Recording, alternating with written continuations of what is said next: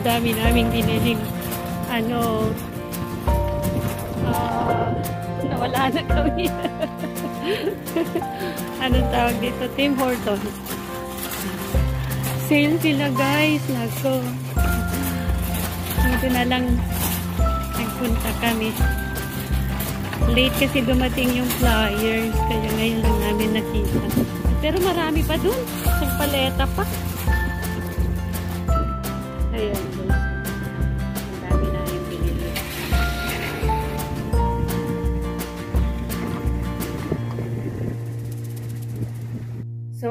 Guys. Magbabox na naman kami.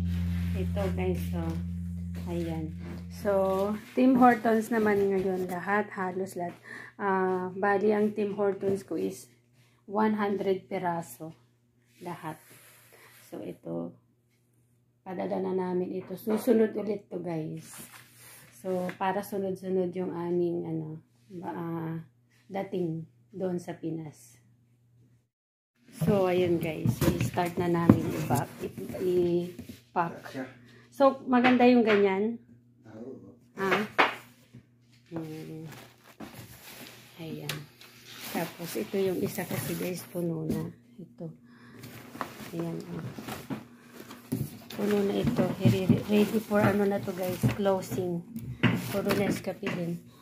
Tapos, ito pa. Meron pa dito sa Ayun o oh guys. So, ayun. Parang hindi kasya sa dalawang box ulit. Baka magtatatlong box tayo ulit din ito.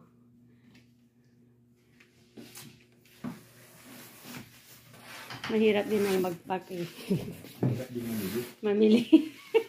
Mahirap magpack. ha? Mahirap mamili. Kailangan marami kang pera na pamili. Ha? Trabaho. Mga trabaho din guys. So, oh my God. Kunti na lang guys na iwan. So, ayun na lang oh. Siguro doon na lang sa free. Yung mga Victoria, St. Ives at saka Bath and Body, doon na lang sa free box na maliit. So, ito yun guys. Oh. Yan. So, malapit nang mapuno ulit. Yan.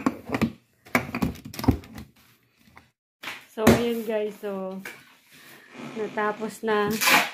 Pero hindi pa rin siya kumasya. Marami pa rin tira. Ayan. So, dalawang box. Plus, may free na small box. So, doon na lang nailagay yung natira. Tapos, yung hindi namin nailagay yung ano, yung ganyan. Victoria's Secret at saka Bath and Body. Kasi, kailangan ihiwalay ng box to para kung may ma masira mo, hindi siya mag-mix yun sa mga pagkain. So, ayun. Pagod ni Harley ah.